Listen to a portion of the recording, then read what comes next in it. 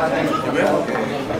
Una serie de dudas rodea la desaparición de un bebé dentro del Hospital Regional de Occidente en Quetzaltenango, ya que la familia aducen que les notificaron sobre su muerte por problemas en sus pulmones. Sin embargo, a la hora de reclamar el cadáver en la morgue de nosocomio, el bebé de siete meses de gestación no está y las autoridades no dan razón sobre su paradero. El sábado último, la progenitora llevó a su hijo a la emergencia luego que le practicaran el parto por parte de una comadrona en la zona 1 de Shela. La familia tiene dudas en que si el bebé falleció o bien lo robaron ya que la directora no sabe qué pasó con él. Se trató de conocer la postura de las autoridades del hospital, pero no quisieron dar detalles. Varios sectores sociales criticaron el poco control en el nosocomio. Además, la familia denunció el caso ante la fiscal general del Ministerio Público, Tel Maltana, quienes ofreció investigar el caso. En Quetzaltenango reporta Carlos Ventura para Prensa Libre TV.